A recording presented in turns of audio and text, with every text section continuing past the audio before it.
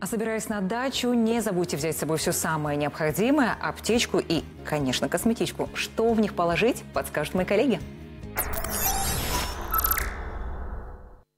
Только самое необходимое. Сегодня попробуем вместе собрать дачную косметичку. Если вы длительное время находитесь на солнце, учитывая, что у вас предстоит работа, а, когда есть пыль, грязь, не наносите более жирную, э, более питательный крема. Наоборот, уйдите к э, текстурам light. Жирная, э, плотная косметика, жирной плотной основой, либо крема уходовые а, будут вместе с пылью, грязью и с потом забивать наши сальные железы. А это сулит проблемы с кожей и впоследствии даже угревую болезнь. Must-have любой дачной косметички – это солнцезащитные средства. Не пренебрегайте ими и не забывайте наносить на кожу новый слой каждые 2-3 часа.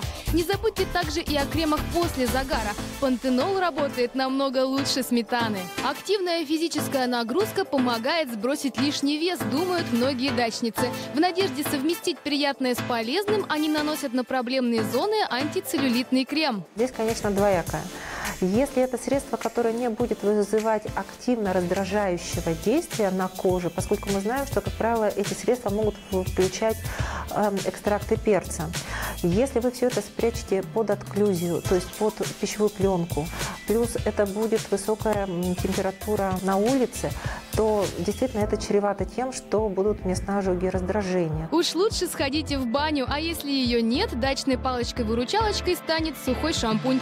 Он обеспечит свежесть волос и объем прически без мытья головы. А Если вы уезжаете на выходные на дачу и при этом хотите прекрасно выглядеть, то заранее э, покрасьте брови и ресницы. Если вы отдыхаете за городом с друзьями, а, то имейте в виду, что тональник должен быть SPF, а база с SPF под ним а, перестает работать. И важно понимать, что больше 20 SPF в формуле тонального средства быть не может чисто физически. Совсем заменить тональное средство поможет консилер. Главное наносить его тонким слоем. Будьте осторожны с кремовыми текстурами а, красноватого цвета, то есть румяна и помады, так как у, людей а, с большой чувствительностью к ультрафиолету они могут вызывать пигментные пятна. На отдыхе а, лучше заменить а, кремовые продукты красноватого цвета на сухие. Впрочем, одной лишь косметички на даче явно будет недостаточно. Нужно также собрать и аптечку. Под э, ярким солнцем при высокой температуре на улице